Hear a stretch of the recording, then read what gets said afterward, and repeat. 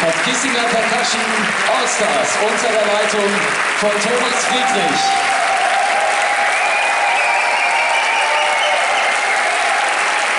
Bis gleich im zweiten Teil.